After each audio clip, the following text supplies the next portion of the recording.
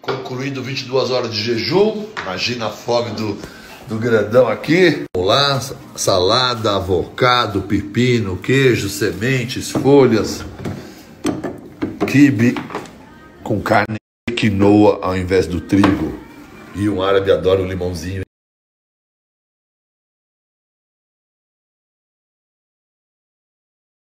Com essas 22 horas de jejum, você tem noção de que eu acelerei e provoquei um aumento na minha cetose? Você entende essa associação? Isso é importante para o papo que a gente vai ter. Terminando as online, hoje nós fomos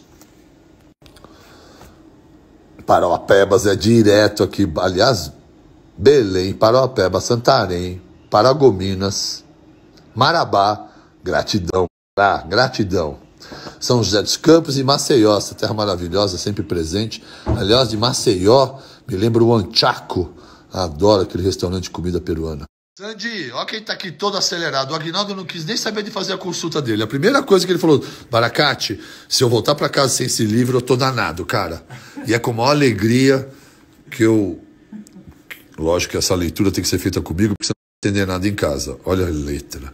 Até me envergonho depois de tentar ler. Desejo que essa leitura a ajude em sua busca por ressignificação com os alimentos. Gratidão, Baracate. Maurício, você manda um beijão para Sandy? Aguinaldo, manda um beijão. um beijão para Sandy? Manda, Bela. Sandy, beijão. Aguinaldo, missão cumprida, hein? Vamos junto. Ele priorizou você, Sandy.